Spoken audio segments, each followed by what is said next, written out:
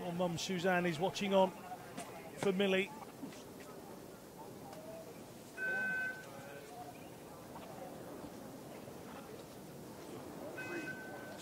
One. Let's go, big fish! So! Millie Knight of Great Britain alongside guide Brett Wild, the guide in bright orange. They communicate via microphones and headsets within the helmets and protective helmets.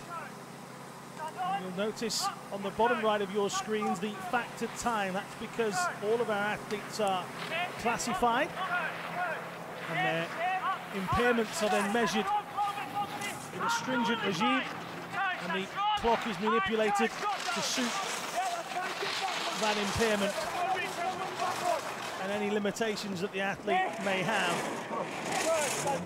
Here in the VI events, it's around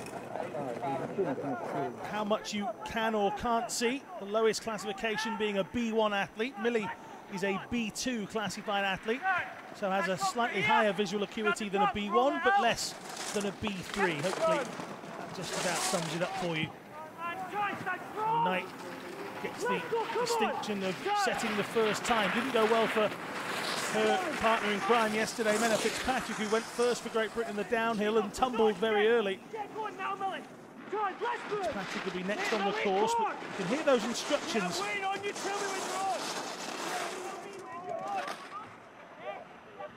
Brett shouting, tell me, tell me. It's not just a one-way communication.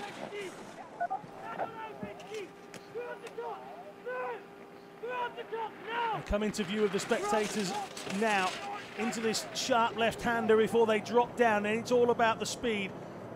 Brett's job here is to get Millie in line so she can just tuck in and come through these final two gates. Last red, last blue, over the line, 133.76 for Millie Knight.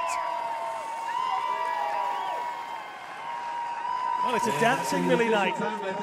Certainly happy with that one. A high five from Brett.